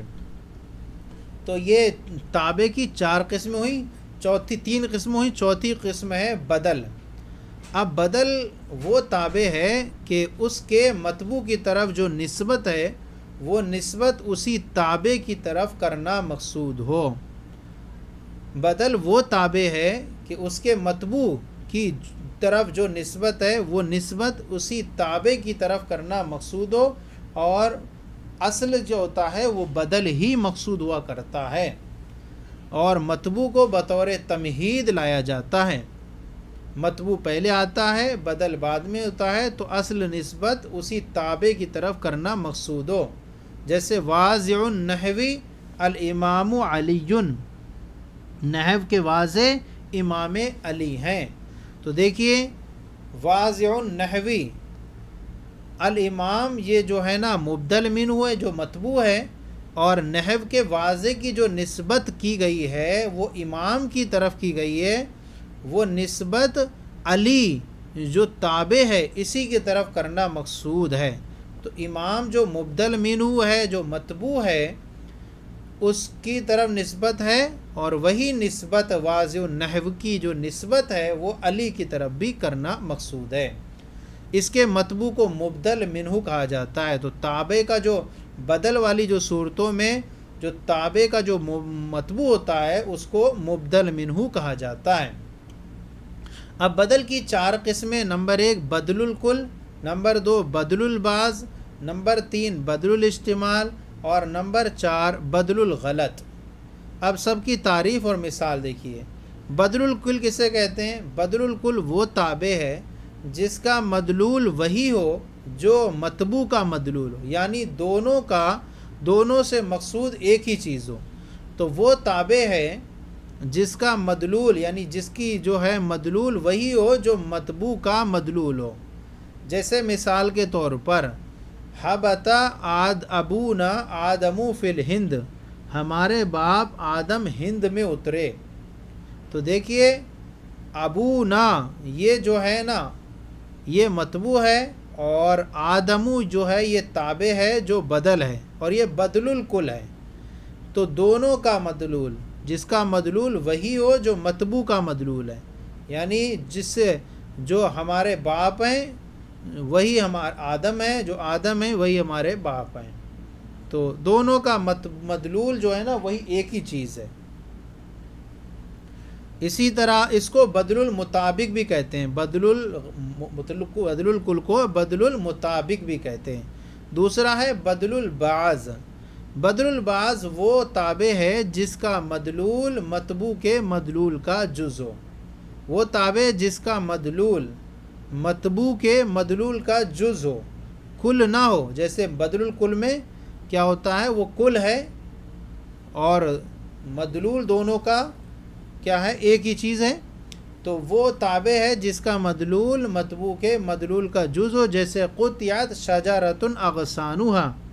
درخت اس کی شاخیں کاٹی گئیں۔ تو یہاں آپ دیکھیے، درخت یہ شجارتن یہ جو ہے مبدل منو ہے اور اغسان ہوا، اس کا بدل البعض ہے۔ ٹہنیاں درخت کی جو ہے نا، وہ جز ہے۔ مدلول متبو کے مدلول کا جز ہو۔ تو یہ متبو جو ہے شجرتن، یہ اور اغسان یہ بدر الباز اس متبو کے مدلول کا جس متبو کے مدلول کا جز ہے۔ تو شجرت مبدل من ہوا اور اغسان اس کا بدر الباز ہوا۔ تیسرا ہے بدر الاجتمال۔ بدر الاجتمال وہ تابع ہے جس کا مدلول، جس کی دلالت، جس کا مدلول متبو کا ایسا متعلق ہو کہ متبو کے ذکر کے باوجود اس کا انتظار رہے۔ یعنی بدل الاجتمال نہ تو بدل مبدل منو کا کل ہوگا، نہ مبدل منو کا جز ہوگا، اور نہ، بلکہ اس سے اس کا ایک تعلق ہوگا جو فوراً ذہن اس کی طرف جاتا ہو کہ ابھی کچھ نہ کچھ باقی ہے۔ جیسے وہ تابع ہے جس کا مدلول متبو کا ایسا متعلق ہو کہ متبو کے ذکر کے باوجود اس کا انتظار رہے۔ جیسے سلیبہ زید الصوبو زید کا کپڑا چھینا گیا۔ اب دیکھیے، زیدن یہ جو ہے مبدل مینو ہے اور صوبو اس کا بدر الاجتمال ہے۔ نہ تو کپڑا جو ہے نا زید کا کل ہے، نہ جز ہے، بلکہ اس سے تعلق رکھتا ہے کہ اس کے بدن پر ہوتا ہے۔ تو اب یہاں زید کا چھینا گیا۔ تو دیکھیے، اس کو ذکر کرنے کے بعد متبو کو ذکر کرنے کے بعد اس کا انتظار باقی ہے کہ کوئی چیز ہے جو ابھی رہ گئی ہے، جس کا ذکر کرنا باقی ہے۔ زید کا چھینا گیا۔ تو یہاں پر پتہ چل رہا ہے کہ اس کا کپڑا چھینا گیا۔ تو زید مبدل من ہوا اور صوبو اس کا بدر الاستعمال ہوا۔ اب آگے بیان کرتے ہیں بدل الغلط چوتھے نمبر پر آتا ہے بدل الغلط بدل الغلط وہ تابع ہے جس کا متبو غلطی سے ذکر کر دیا گیا ہو اور اسے اس غلطی کا ازالہ کرنے کے لیے لایا جائے۔ تو بدل الغلط وہ تابع ہے جس کا متبو غلطی سے ذکر کر دیا گیا ہو اور اس بدل الغلط کو اسے اس غلطی کا ازالہ کرنے کے لیے لایا جائے، غلطی کو دور کرنے کے لیے لایا جائے۔ جیسے جال معلم اور پھر اس کے بعد کا التلمیز۔ تو دیکھیے معلم یہ جو ہے متبو ہے، اور کہنے والے کو کہنا تھا کہ طالب علم آیا، لیکن غلطی سے اس کے منہ سے نکل گیا، معلم نکل گیا۔ تو یہ متبو جو ہے نا، غلطی سے ذکر ہو گیا، اور اس غلطی کو ذکر کو دور کرنے کے لیے پھر التلمیز کو ذکر کیا گیا۔ تو کہیں گے التلمیز کیا ہے؟ یہ بدل الغلط ہے، اور معلم جو ہے متبو ہے۔ تو متبو غلطی ذکر ہو گیا، اس غلطی کو دور کرنے کے لیے اسے لایا جائے تو وہ بدل الغلط ہوتا۔ ہے اس بدل الغلط کو بدل المبائن بھی کہتے ہیں۔ فائدہ، بدل البعد اور بدل الاجتمال میں ایسی ضمیر کا ہونا ضروری ہے جو مبدل منہو کی طرف لوٹے، جیسا کہ مثالوں میں گزرا۔ تو بدل البعد اور بدل الاجتمال میں ایسی ضمیر کا ہونا ضروری ہے جو مبدل منہو کی طرف لوٹے۔ آپ دیکھیے یہاں پر بدر الباز میں دیکھیے اغسان ہا اغسان ہا میں ہا ضمیر ہے، جو ایک ضمیر کا ہونا ضروری ہے، جو لوٹ رہی ہے کس کی طرف؟ مبدل منو شجا رتن کی طرف لوٹ رہی ہے۔ اسی طرح بدر الاجتمال میں بھی ایک ضمیر ہے سو بہو میں ہو ضمیر ہے، جو لوٹ رہی ہے، اپنے متبو مبدل منہو زیدن کی طرف لوٹ رہی ہے۔ نمبر دو، اگر مبدل منہو معرفہ ہو اور بدل نہ کراؤ، تو بدل کی صفت لانا ضروری ہے۔ اگر مبدل منو معرفہ ہو اور بدل نکرا ہو مبدل منو معرفہ ہو، بدل نکرا ہو تو بدل کی صفت لانا ضروری ہے۔ جیسے لنس فام بن ناسیہ ناسیتن کاذبتن خاتیہ یعنی ہم ضرور پیشانی کے بال پکڑ کر کھینچیں گے، کیسی پیشانی؟ جھوٹی خطا کار۔ تو اب دیکھیے، مبدل مینو جو ہے، ناسیہ یہاں پر کیا ہے؟ معرفہ ہے۔ مبدل مینو جو ہے، یہاں معرفہ ہے اور بدل جو ہے، ناسیہ۔ یہ اس کا نکرا ہے۔ تو بدل کی صفت لانا ضروری ہے، لہذا اس کی صفت لائی گئی قاضی بطن خاتیہ تو بد، مبدل مینو جو ہے معرفہ ہو تو اور بدل نہ کراؤ تو بدل کی صفت لانا ضروری ہے۔ لہذا ناسیہ پہلا والا بن ناسیہ جو معرفہ تھا مبدل مینو تو ناسیہ جو نکرا صف، بدل تھا اس کی صفت لائی گئی کاذبتن خاتیہ۔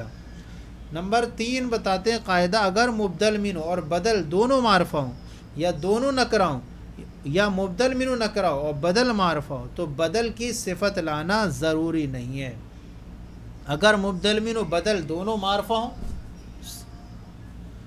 اگر مبدل منو اور بدل دونوں معرفہ ہوں، یا دونوں نکرا ہوں، یا مبدل منو نکرا ہو اور بدل معرفہ ہو، تو بدل کی صفت لانا ضروری نہیں۔ جیسے نجا من الناری الخلیل ابراہیم۔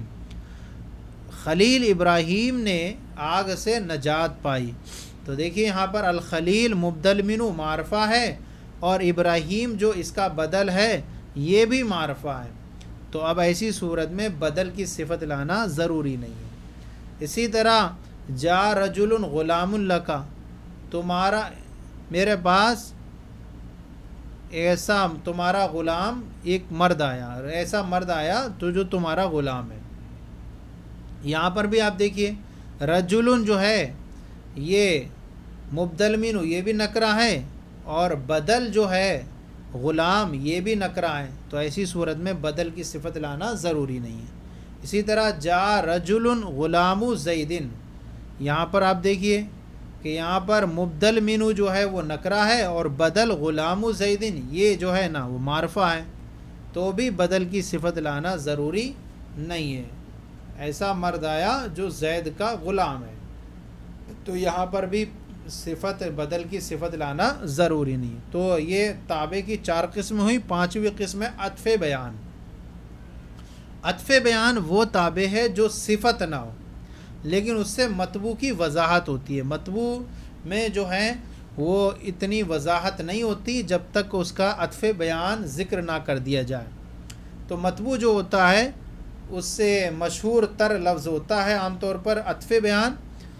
تو اطف بیان وہ تابع ہے جو صفت نہ ہو، لیکن اس سے متبو کی وضاحت ہوتی ہے۔ جیسے قالا علی زین العابدین۔ تو علی زین العابدین نے کہا، تو یہاں دیکھیے علی جن یہ جو ہے نا، یہ متبو ہے اور اس کی وضاحت جو ہے نا زین العابدین بیان کر رہا ہے۔ تو اس سے وضاحت زین العابدین جو ہے نا تابع صفت تو نہیں ہے، لیکن اپنے متبو علی کی وضاحت کر رہا ہے۔ اسی طرح جا ابو حفصن عمر۔ ابو حفص آئے، یہ کنیت حضرت عمر کی۔ تو اب اس سے جو متبو کی جو ہے متبو کی وضاحت جو ہے، وہ عمر کر رہا ہے۔ ابو حفظ آئے یعنی عمر آئے۔ تو عمر جو ہے، یہ صفت تو نہیں ہے، یہ تابع ہے، لیکن اس سے متبو ابو حفظ کی وضاحت ہو رہی ہے۔ اسی طرح نظر الکلیم موسا کلیم جو ہے نا یہ متبو ہے اور موسا یہ تابع ہے اور صفت نہیں ہے، لیکن اپنے متبو کلیم کی وضاحت کر رہا ہے کہ کلیم موسا نے دیکھا۔ اسی طرح علامہ زید ابو عمر یہاں پر زید جو ہے وہ متبو ہے اور ابو عمر جو ہے یہ تابع ہے، صفت نہیں ہے، لیکن اپنے متبو زید کی وضاحت کر رہا ہے۔ تو یہ تابع کی جو پانچ قسمیں ہوئیں، اس میں بیان کی گئی تفصیل کے ساتھ۔ پہلا تھا تابع میں، نعت کو بیان کیا گیا، پھر اس کے بعد عطف بحرف کو بیان کیا گیا، پھر تاکید کو، پھر بدل کو، اور پھر عطف بیان کو۔ اب اس کے بعد جو تمرین ہے، آپ تمرین کو دیکھیے گا۔ تمرین میں جو سوال نمبر ایک ہے، یہ تو آپ کو سوال کے جوابات آپ کو کتاب سے آرام سے آپ لکھ سکیں گے۔ سوال نمبر دو کے جواب بھی آپ آسانی سے لکھ سکیں گے۔ سوال نمبر تین، چار، پانچ۔ یہ تمام آپ آسانی سے آپ حل کر لیں گے۔ ہمیں جو حل کرنا ہے، وہ سوال نمبر چھ حل کرنا ہے۔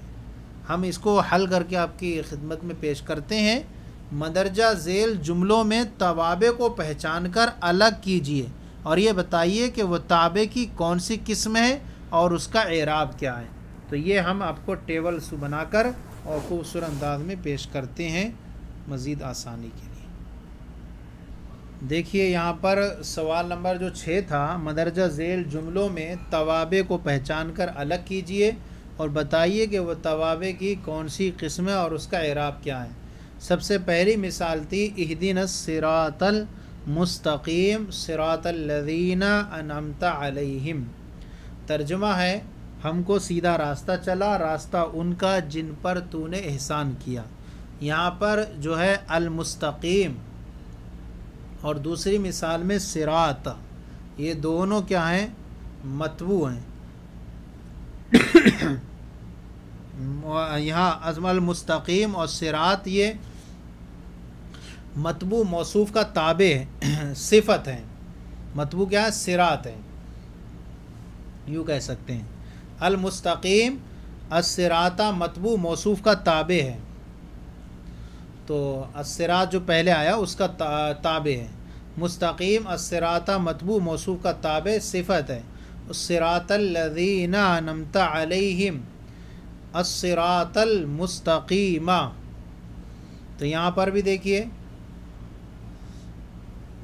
مستقیمہ اور پھر آگے آیا اسرات یہ دونوں متبو متبو مبدل منو کا تابع بدل الکل ہے۔ تو اب یوں کہہ سکتے ہیں کہ المستقیم جو ہے متبو جو مبدل منو کا تابع، یہ بدل الکل ہے اور وہ دونوں تابع منصوب ہیں۔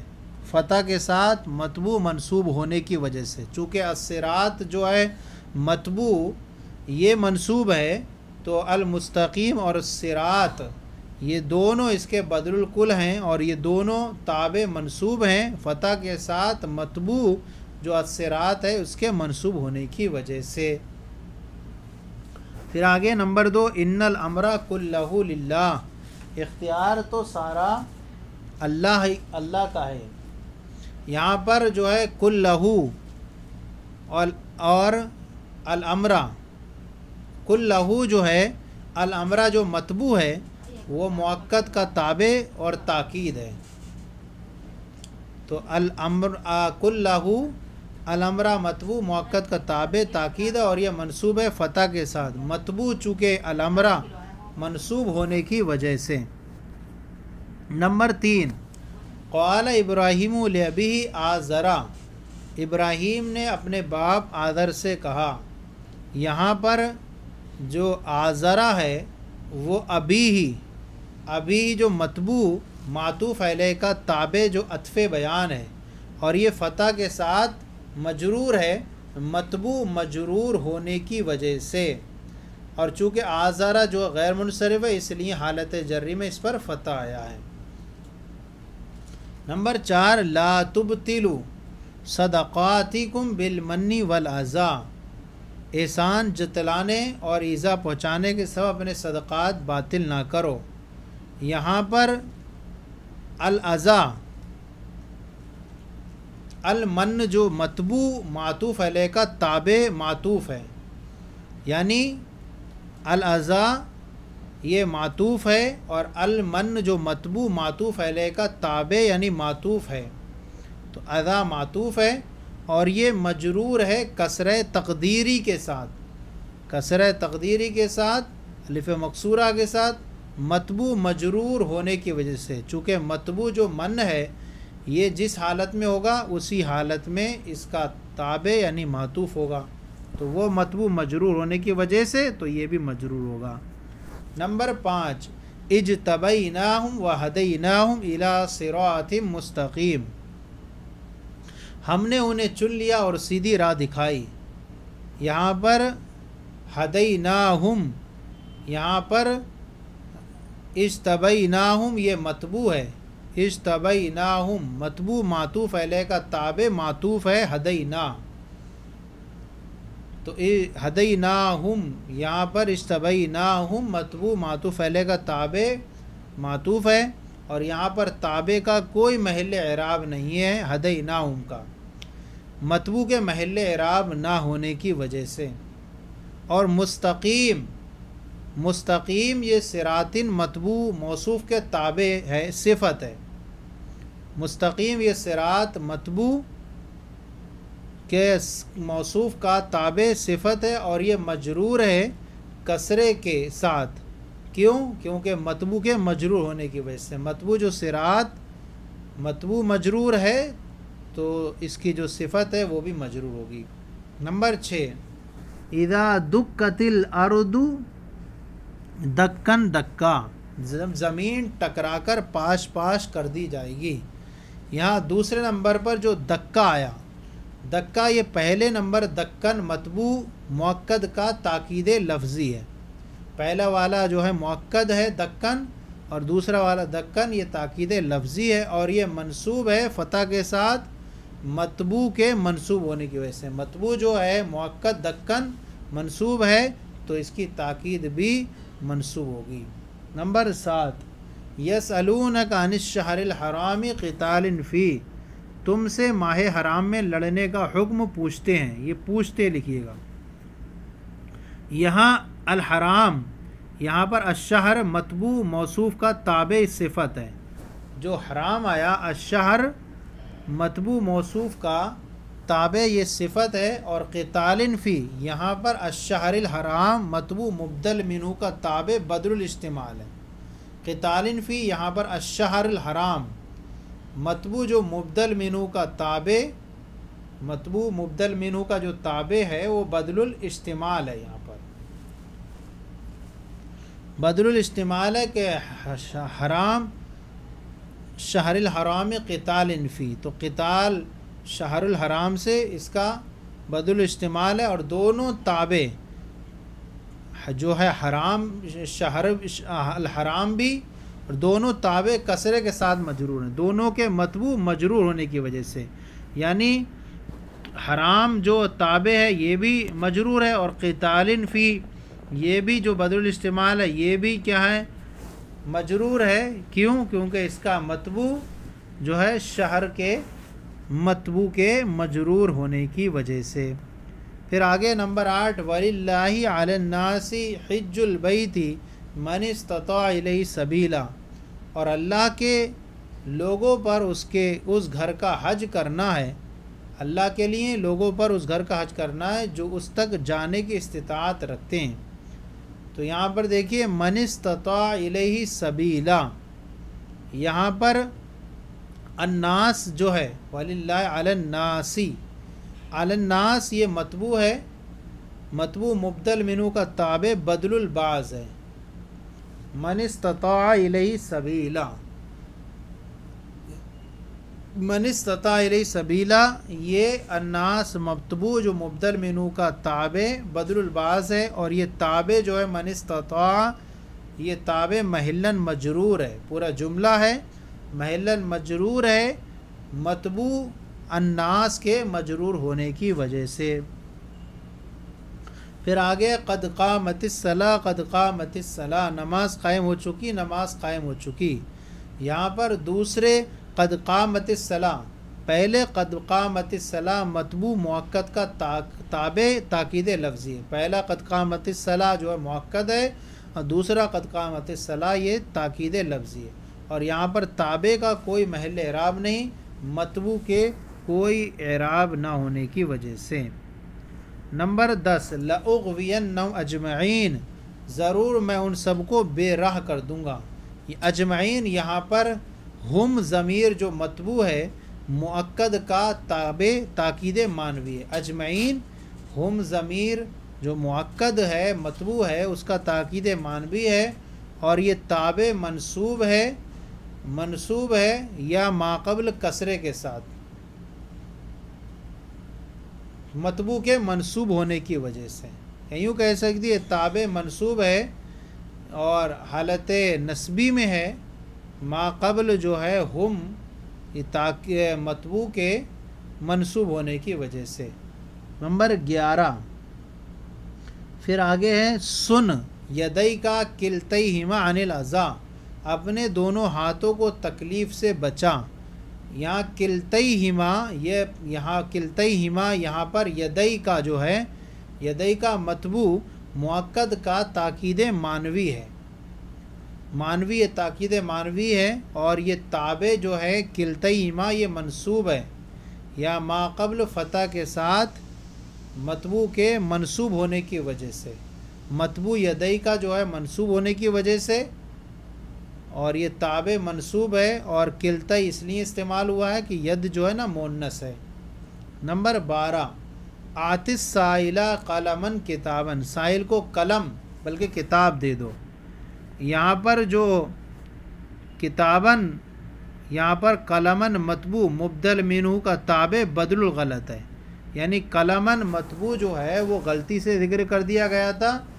اور غلطی کے ضالے کے لیے کتابن کو لایا گیا ہے۔ یہ تابع منصوب ہے، فتح کے ساتھ متبو جو ہے وہ قلمن کے منصوب ہونے کی وجہ سے۔ نمبر تیرہ، قال الامام ابو حنیفتہ نعمان ابنی ثابت رضی اللہ تعالیٰ ان الوطرا واجبتن امام ابو حنیفہ نعمان ابن ثابت نے فرمایا، نماز وطر واجب ہے۔ یہاں الامام یہاں الامام یہاں پر متبو مبدل مین ہوا ہے۔ ابو حنیفتہ نعمان ابن ثابت، نعمان ابن ثابت تابع یہ بدر القل ہے اور تابع مرفو ہے واؤ کے ساتھ۔ یہ اس لیے مرفو ہے کیونکہ اس کا متبو جو الامام ہے یہ بھی مرفو ہے۔ ابو حنیفتہ متبو معطوف علیہ نعمان ابن ثابت تابع اطف بیان اور یہ تابع مرفو ہے ضمے کے ساتھ۔ ابو حنیفتہ متبو اور معطوف علیہ ہے اور نعمان ابن ثابت۔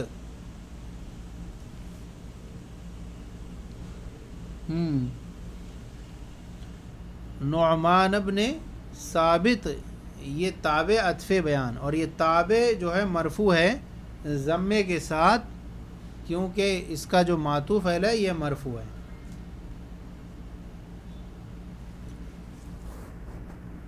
پھر آگے نمبر چودہ، جا رجل ابوہ کریم وہ مرد آیا جس کا باپ شریف ہے۔ یہاں پر رجل رجل یہاں پر متبو موصوف، اور ابو کریم یہ تابع صفت سببی ہے۔ ابو کریم تابع ہے اور صفت سببی، اور یہ تابع محلن مرفو ہے متبوج رجل کے مرفو ہونے کی وجہ سے۔ نمبر پندرہ، اکرم رجل المحذبہ خلق اس مرد کی تعظیم کرو جس کی عادت اچھی ہے۔ یا المحذب خلق یہاں پر الرجلہ متبو جو ہے، موصوف کا تابع۔ موصوف کا جو تابع المحذب خلقہ، یہ تابع صفت سببی ہے۔ اور یہ تابع منصوب ہے فتح کے ساتھ متبو الرجل کے منصوب ہونے کی وجہ سے۔ نمبر سولہ، جا ابو عبد اللہ محمد، عبداللہ کا باب محمد آیا۔ محمد یہاں پر ابو عبداللہ متبو جو ابو عبداللہ متبو ہے، اور معطوف علیہ کا تابع اطف بیان ہے یعنی محمد متبو معطوف علیہ کا تابع ہے اور اطف بیان ہے۔ تو اس کو تابع بھی کہہ سکتے ہیں، تابع تو ہے ہی، اور اطف بیان۔ اور یہ تابع مرفو ہے، محمد۔ ضمے کے ساتھ متبو ابو عبداللہ کے مرفو ہونے کی وجہ سے۔ نمبر سترہ۔ آگے ہے زہابہ خالد النفسو الحدی کا خالد خود باغ کی طرف گیا۔ یہاں نفسہو، یہاں پر خالد متبو متبو جو خالد ہے موقد کا تابع تاکید مانوی ہے یعنی نفسو موقد کا تابع ہے اور تاکید مانوی ہے، اور یہ تابع نفسو مرفو ہے ضمے کے ساتھ متبو خالد کے مرفو ہونے کی وجہ سے۔ پھر آگے ہے نمبر اٹھارہ، ان سرافت المدرسۃ تلامزوا مدرسہ اس کے لڑکے واپس ہوئے۔ یہاں تلامزو تلامیزوہا یہاں پر المدرسہ جو متبو ہے، وہ مبدل منہو کا جو ہے، وہ تابع بدر الاستعمال ہے۔ یعنی تلامز وہ جو ہے، وہ تابع ہے اور بدر الاستعمال ہے۔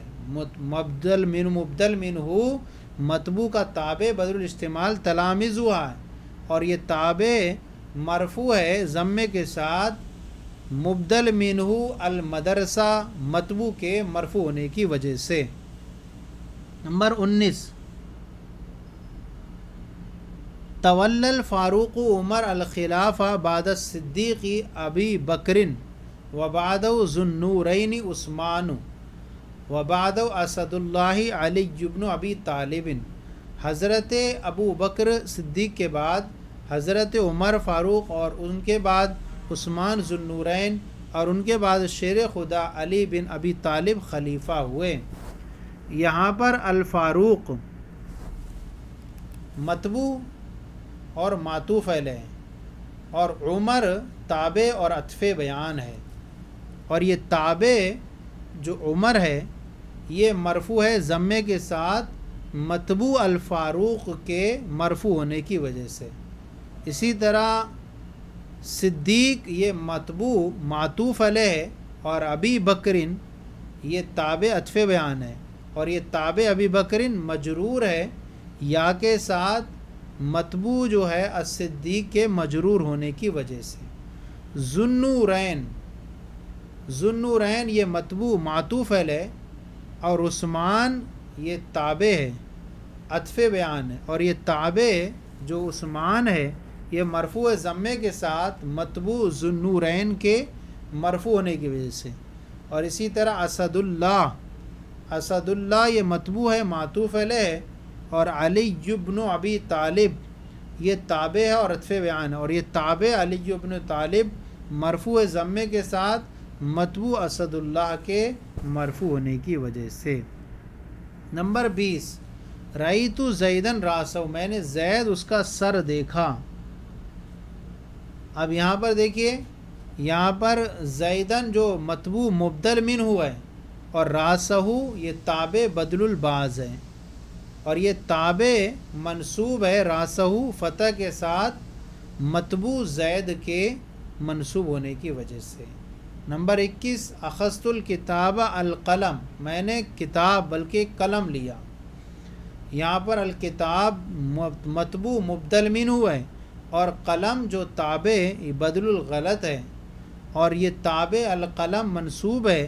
فتح کے ساتھ متبوع الکتاب کے منصوب ہونے کی وجہ سے۔